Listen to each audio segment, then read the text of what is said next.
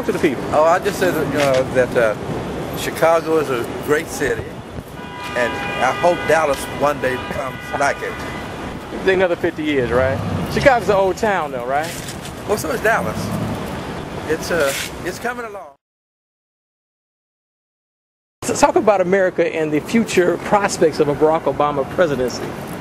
Well, uh, uh, with the uh, Barack Obama presidency, the country will get better uh, for a variety of reasons.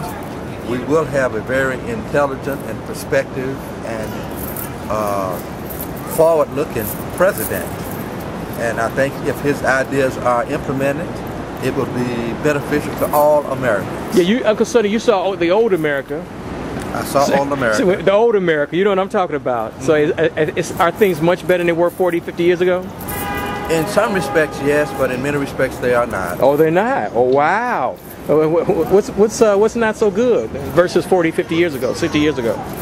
Um, we are in too much of a rush.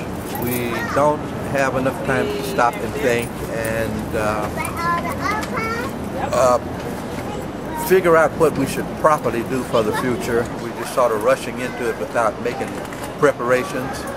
The thing that I would like to see most improve is our educational system. Really? If we focus on that, I think many of our other problems will disappear. Education.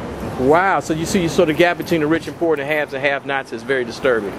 Oh, absolutely.